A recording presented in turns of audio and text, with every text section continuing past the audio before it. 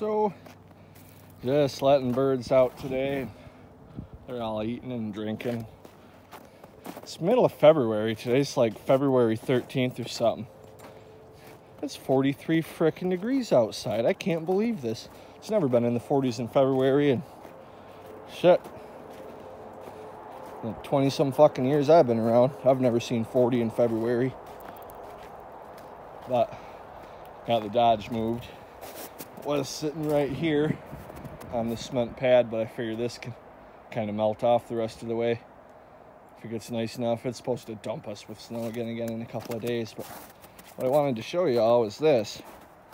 It's my brother Leon's. He had that fucking Dodge Caliber I did a video on a while back. Piece of shit. But uh ended up selling that and picking this up. Uh needs some work. But it does run and drive. That's what we're gonna do. Aftermarket radio, that clock that always runs. Horn don't work, but it still has the old school Ford steering wheel and old Ford dash. Walk around the outside, but I uh, wanted to show you guys. Look at that. For a Michigan truck, that bit of rust right there, that ain't bad. There's a farm truck in Escanaba. Got the stake bed on it. It's a single cab short box. Flatbed with the racks on it. The racks do come off, but I don't really have any reason to take them off for now kind of like the looks of it with it on there. Thinking about doing something like this to the Dodge, but I'd go with metal for the Dodge bed.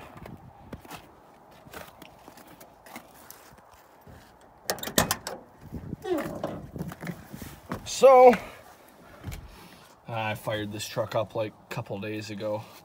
I think the starter's weak in it though. Either that or the battery is. One or, one or the other's weak. Battery holds charge though, but it just cranks over kind of slow sometimes and then sometimes it doesn't.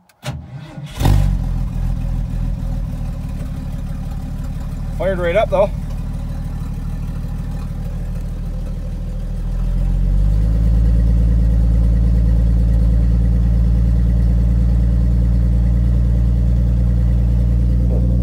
Got a bunch of spare parts, belts and breather box that needs to go back on. I need to get the bolt. I don't know how well this phone's going to pick any of this up. The speakers are kind of going out, and it's pretty loud in here. The exhaust is broken right after the manifold. Um, so yeah, but I might we might take this for a little cruise right down the road. I'm not gonna take it out to the main road, just the side road that we live on here. Pretty low speeds and everything. Um, especially this time of year because it's like I say it's 43 degrees today and we got all this snow on the ground. And it uh, was warm yesterday too and then it got cold last night and it froze. So everything's one big sheet of ice. Continuously melting sheet of ice but okay. One thing I will say about this truck and its old kind of fucked up mirrors it's really hard to see what the fuck you're doing when you're backing up. So, quality of footage while I'm backing up probably isn't very good. I acknowledge that. It's got something going on with the brakes. The brakes kind of hiss.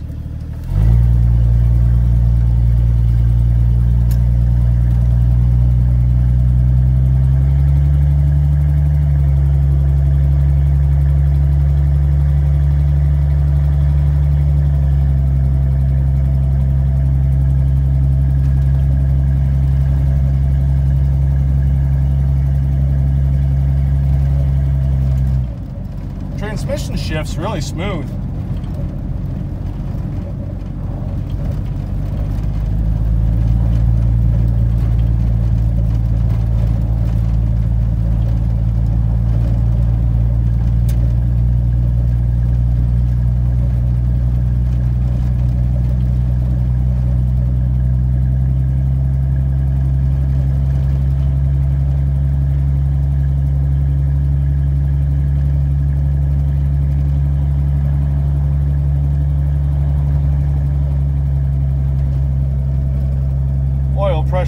Don't work.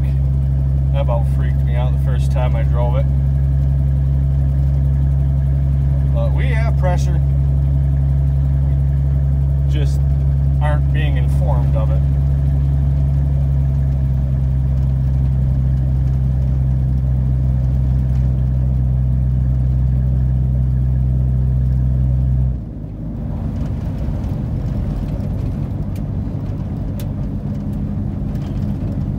not too awful loud when you're just rolling.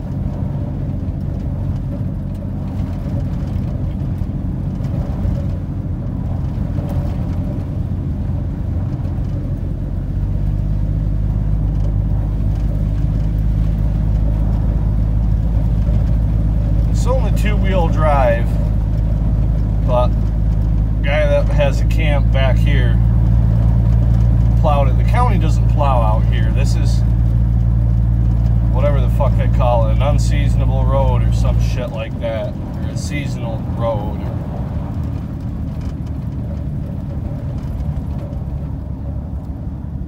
So basically, if you live down this road, you get to plow it yourself.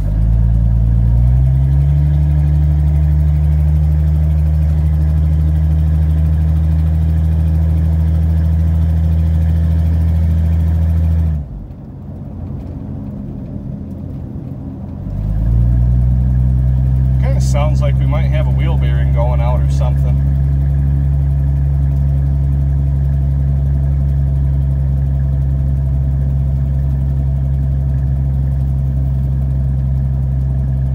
I only paid 1500 for the thing though. I think it's worth it.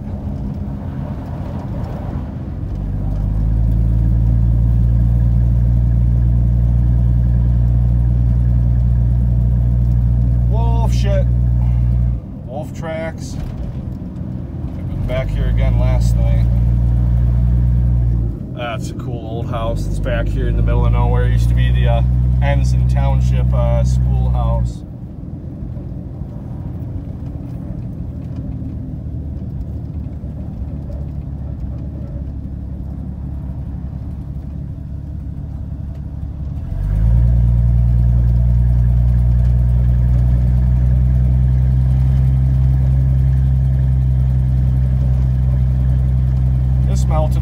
Since yesterday. Yesterday, this was all one sheet of ice. You couldn't see the ground on this stretch of road. Hey, there's a deer.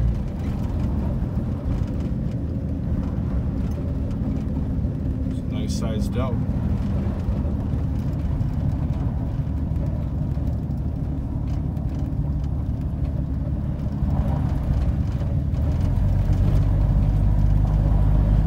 Deer are a good sign deer means there's no wolves out right now, which it's 11 a.m. There shouldn't be, but they get hungry enough.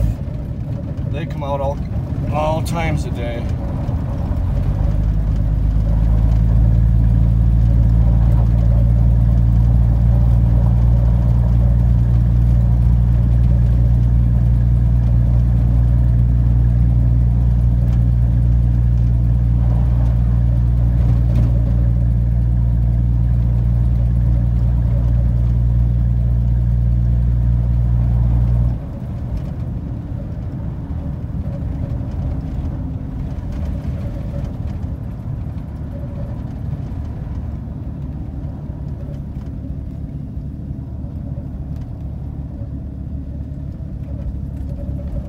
Bunch of wolf tracks all over here, just right along the side of the road.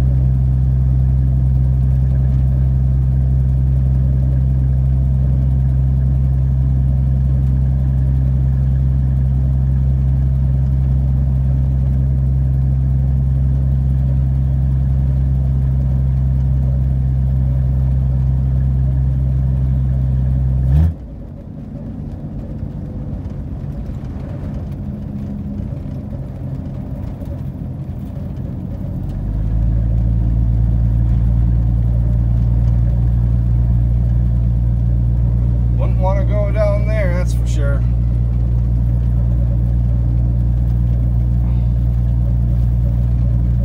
It's three feet down with the snow in it, probably about five or six without it. Swallow this truck right up. Well, that's kind of a snowy place to turn around. I think right down here is pretty much where the guy finishes plowing and then after that road kind of goes through this camp that's gated off and kind of a pain in the ass. Yeah, we got a good turnaround spot right here.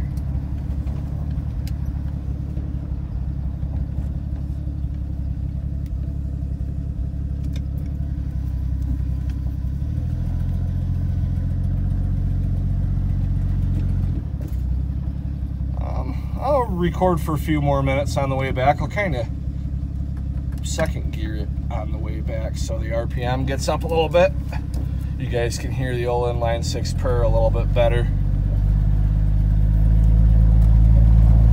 It's it's an automatic. It's not like a column shift, but you know you got that uh, neutral second or yeah neutral drive second and first. And if you put it in second, it'll still start in first, but uh, it won't go into. Well, at least I believe it starts in first. I don't know. This thing shifts so smooth; it's kind of hard to tell. But I believe if you put it at that in the second position, it'll start first and then go to second, but it won't uh, won't go to third. And that can be used for a multitude of things that I'll explain another time. If you don't already know what it does, you know on your own. Mainly a tow-in thing. Or a really shitty weather thing or uh, my transmission doesn't know what fucking gear to go into. It always flips back and forth, so I pick a gear for it.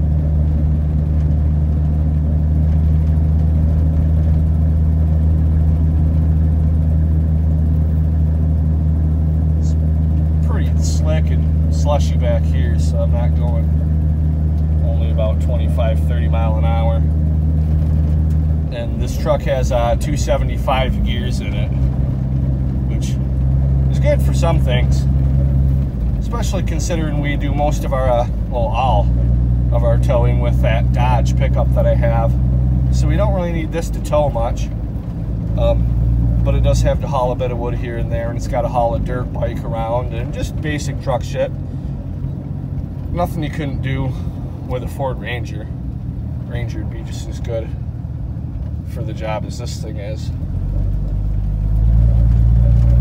But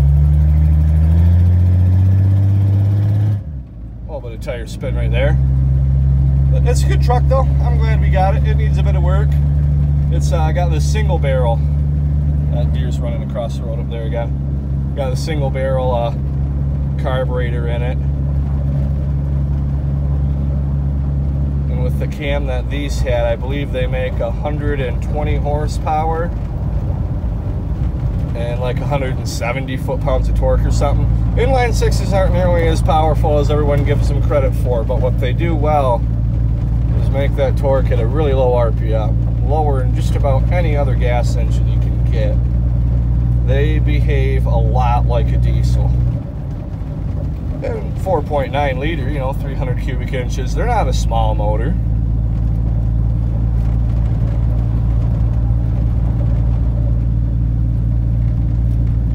One of the most reliable engines ever made. Of course, it's hard to break shit when you only make 120 horsepower, but hey, um, you can do a lot to these trucks though. There are guys that have turbocharged them and done shit to them and have a, you know, 500 foot-pounds of torque and, you know, and have still put 200,000 miles on the thing, so it's not like it hurts reliability either.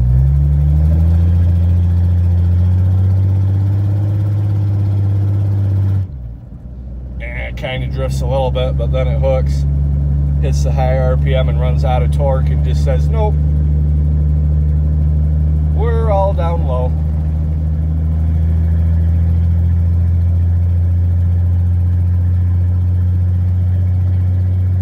Frozen wolf shit.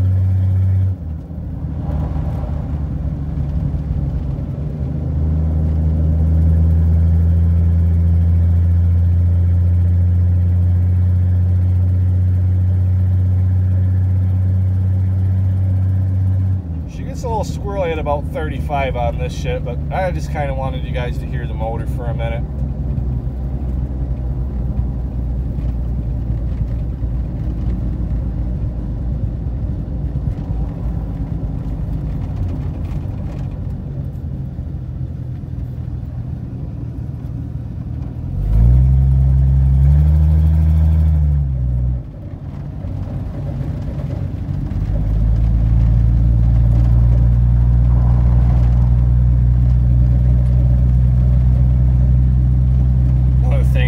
I'd go faster if I didn't think the exhaust might fall off the truck if I went above 45.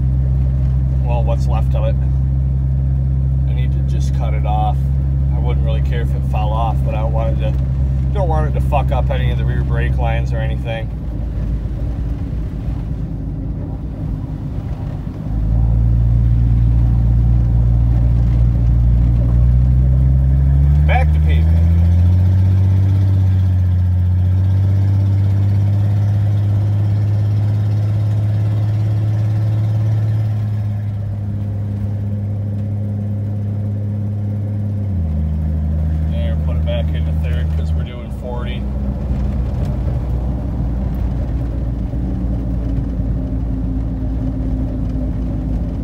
Well, that's about it for this video. I'm just, actually, I'm probably to stop by and see my neighbor. It looked like he had his garage open when I drove by.